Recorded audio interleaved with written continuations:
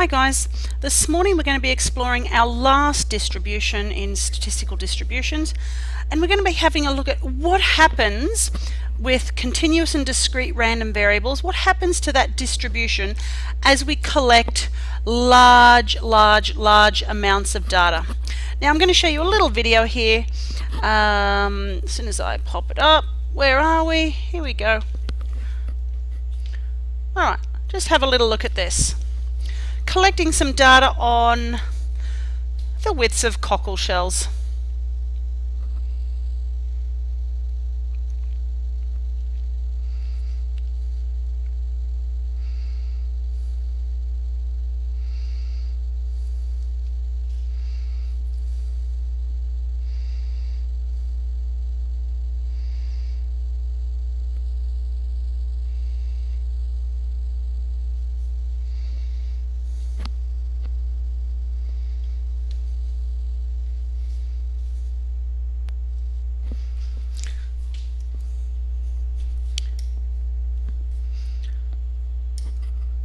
Okay guys, as you saw, you saw a certain, a certain sort of peaky shape graph coming there.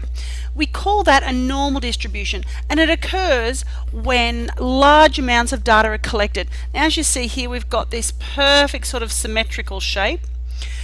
Over the years um, statisticians have experimented with tens of thousands of pieces of data from all different random variables and they've found that as the amount of data collected increases the shape of this bell curve if you like gets closer and closer to perfect or you know, symmetrical about this given um, point here.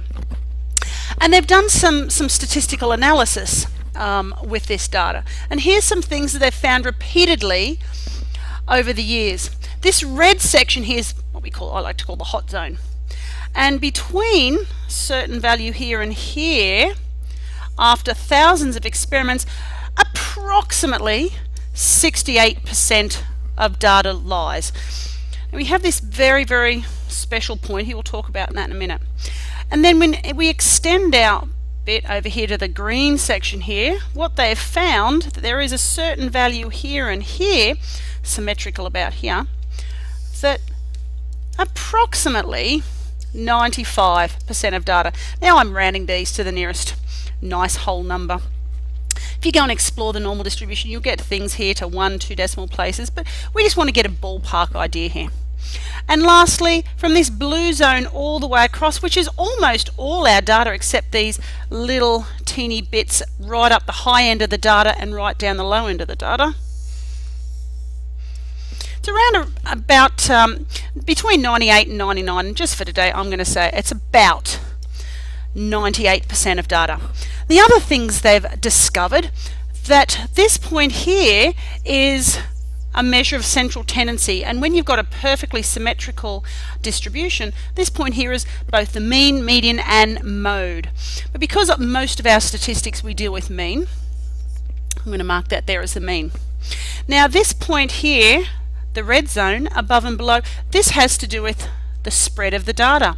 This point here is one standard deviation above the mean. So I can write that the mean plus one standard deviation. And symmetrically down here, that's the mean minus one standard deviation. We move up to the green zone. This is basically another standard deviation above the mean. So we have mean plus two standard deviations. And symmetrically down here, we've got the mean minus 2 standard deviations. Up here we go up to 3. Mean plus 3 standard deviations and symmetrically down here mean minus 3. Now since between these blue zones here we got 98% of data we really don't need to consider 4 because these n bits are such small amounts of data. Now these figures are ballpark, but it's nice to have an idea when you are dealing with um, statistical analysis of the normal distribution. Okay, so let's have a look at what we do here. We got a class quiz which has a mean of 80 and a standard deviation of 5. and it's a normally distributed set of data. Okay, and we want to find approximately, the reason I'm using approximately here, because I just want you to use these approximations that we've been looking at. Later on we'll have a look at how technology can help us be more exact, but here we're just talking about ballpark understanding. Is it a large probability, is it a small one, and so on. So approximately what percentage of people earned above 80%?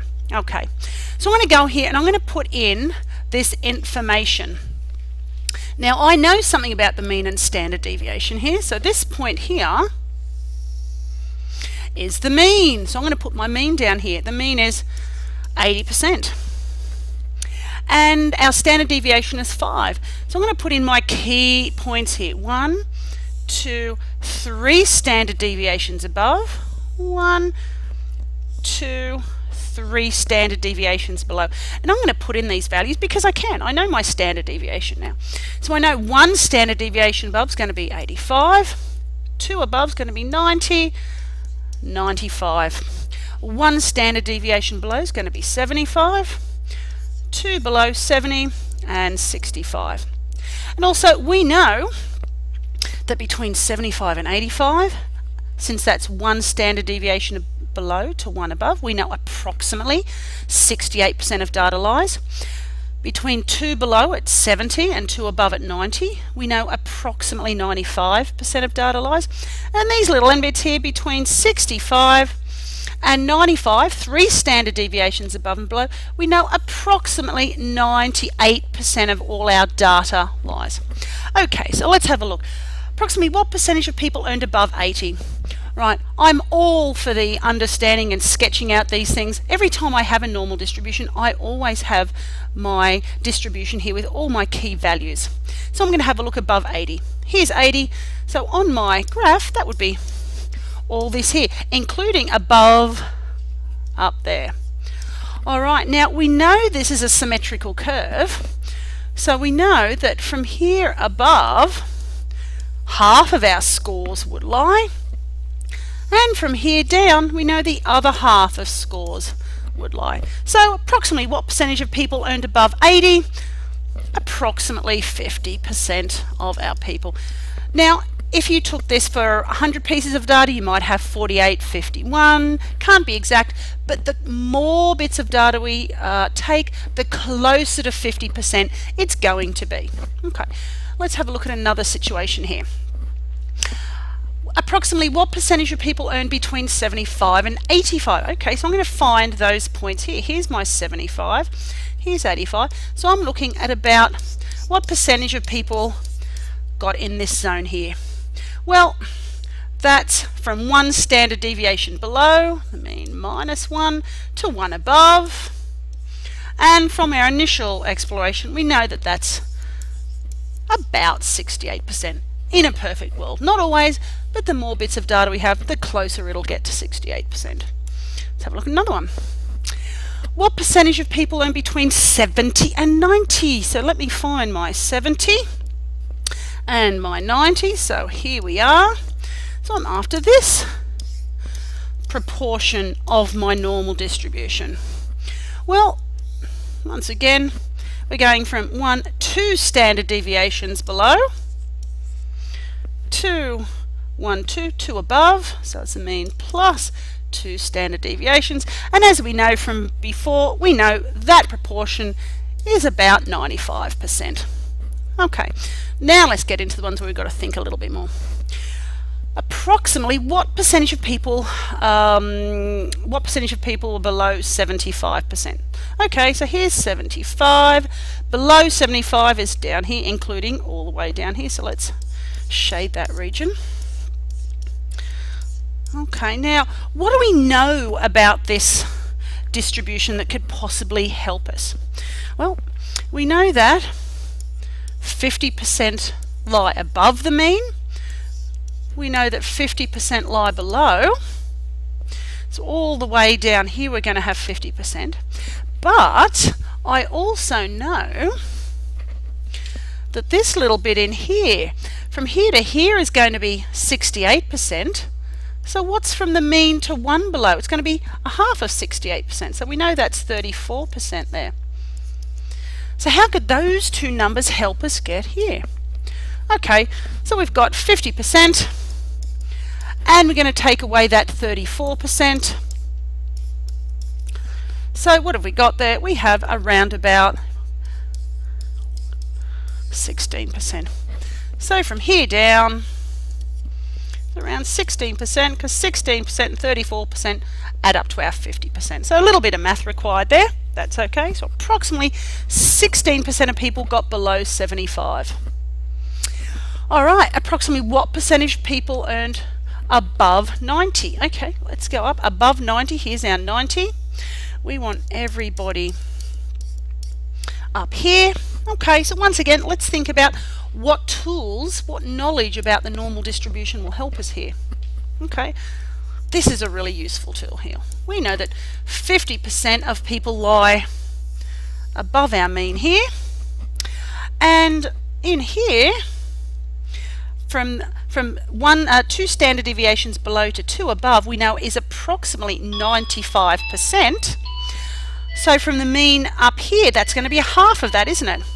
So we've got 95 divided by 2%, which I think, what's that, 42.5%? Okay. Let's, let's, 95, 47.5%. Alright, so the remaining up here is going to be our 50% minus our 47.5%. So we get 2.5% up here. 2.5% of people uh, percent of people got 90% or above. Alright, I think this is our last one. Approximately what percentage of people earn between 65 and 85%? Okay, so let's go and have a look at that on our diagram. 65%, one, two, three standard deviations below, and up to 85. Oh, that's only one above. So a little bit of an asymmetrical question here. Okay, so let's have a look at that. What tools could we use once again um, about our normal distribution to find this? Well, we've used this bit before. This going from one standard deviation below to above is 68. So this bit here is going to be 68 divided by 2%, which was our 34%. So we got 34% over here. And over here, from, from three standard deviations below to three above is 98%. So this bit here is going to be 98 divided by 2 percent. So we've got 49% over here from here to the mean and from the mean to one above we've got 34 so we're looking at having 49% plus 34% and what have we got? Plus 34 we've got about 83% um, of our scores lie between 65 and 85%. Right, what you're going to do now, after these three, we've got, let me just show you, one, two, three, four.